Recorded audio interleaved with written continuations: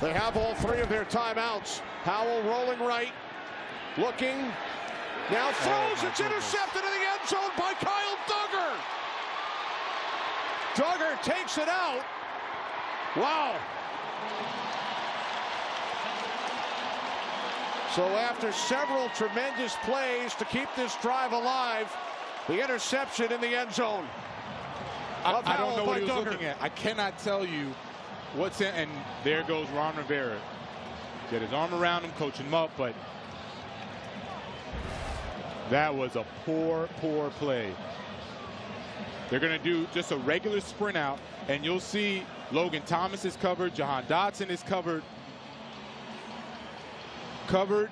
I, he's right there for Jahan Dotson. I don't know what he's looking at. I don't know why he threw the ball like that. That was